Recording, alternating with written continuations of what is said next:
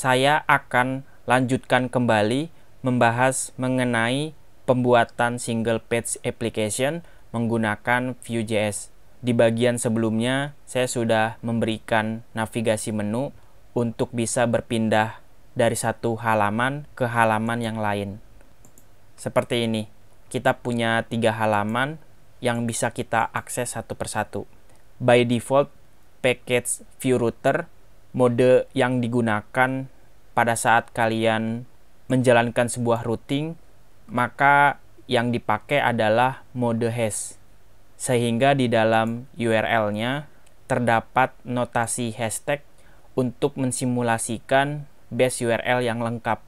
Supaya URL-nya lebih bersih dan baik, maka kita pun bisa menghilangkan karakter hashtag ini di dalam URL dengan memberikan opsi mode nilainya history di dalam objek view routernya. Kita akan coba kopikan perintah ini dan kita buka latihan 2 HTML.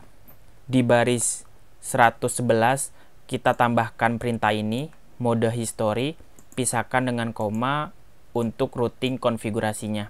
Setelah seperti ini, kita bisa balik lagi ke web browsernya tanpa menggunakan hashtag. Jadi langsung saya enter komponen home-nya tidak berhasil dirender. Nah, di sini ada yang perlu teman-teman ketahui. Karena kita menggunakan mode history, maka view router akan memanfaatkan fitur history push state untuk mengakses navigasi URL tanpa memuat ulang atau tanpa melakukan reload. Tapi masalahnya karena aplikasi yang saya buat adalah single page application tanpa menggunakan konfigurasi server yang tepat. Ketika user atau pengguna mencoba mengakses URL yang aktif di dalam browser, kita akses slash about, maka di sini ada masalah user mendapatkan informasi not found ketika kalian menjalankan projectnya secara manual, yaitu open in browser tanpa menggunakan server. Begitupun kalau saya klik menu about-nya, maka dia akan memuat ulang komponen tersebut dengan lokasi URL yang invalid. Kurang lebih seperti ini.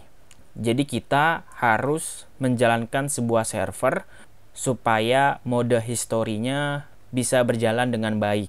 Untuk teman-teman yang mengalami masalah seperti ini, kalian tidak perlu khawatir.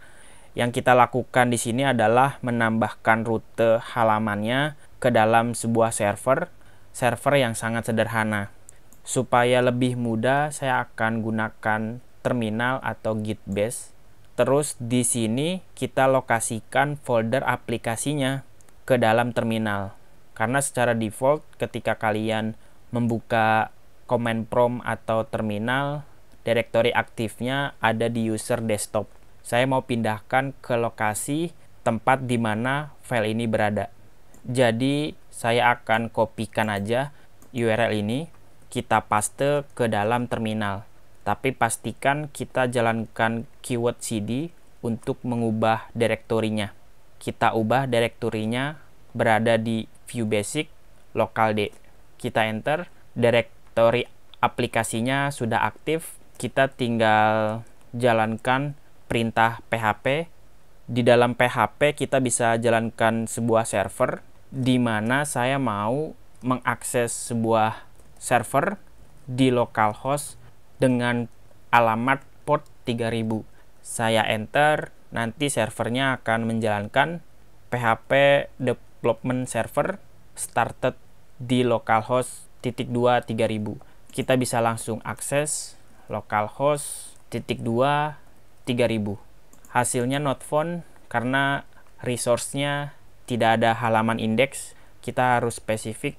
Yang kita akses adalah latihan 2 HTML kalau teman-teman belum berhasil juga kita akan coba buat file baru kita save kasih nama index.html Kemudian latihan duanya saya pindahkan ke halaman indeks. sebagai halaman utama. Biar ketika kita akses servernya, dia akan mengambil nilai indeks dari HTML-nya. Sekarang aplikasi kita sudah tampil dengan baik. Jika URL-nya cocok, maka halamannya akan disajikan dengan baik. Kalau kalian pindah ke halaman, kita masih mendapatkan hasil yang sama. Saya pilih menu kelas, halaman kelasnya juga berhasil ditampilkan. Selamat kalian sudah berhasil melakukan perubahan dari mode hash ke mode history dan pastikan kita menjalankan aplikasinya melalui server yang teman-teman gunakan. Oke, semuanya selamat mencoba.